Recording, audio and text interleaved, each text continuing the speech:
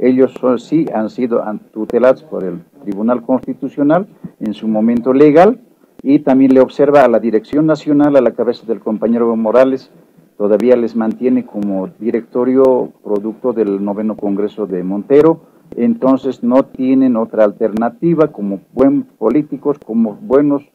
uh,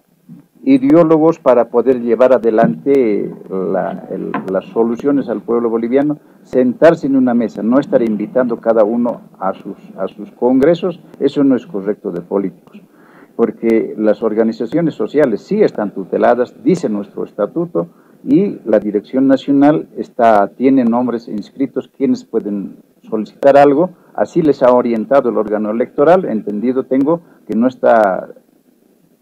imponiendo absolutamente nada, eso estoy escuchando también. Estoy escuchando que solo los militantes, el noveno Congreso, sus estatutos, habla de dos formas de pertenecer al instrumento político, uno como afiliados y otro como militantes. Entonces, manejamos eso, ellos están hablando solamente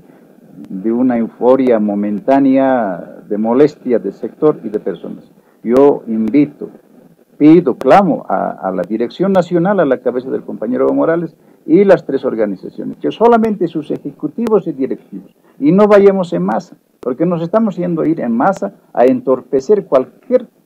diálogo que no vamos a llegar a nada y eso va a ser perjudicado el instrumento y sobre todo porque nosotros representamos a 55% en este momento de, simpatía que hemos tenido para las elecciones 2020 y estamos traicionando esa, esa buena eh, criterio que ha tenido de nosotros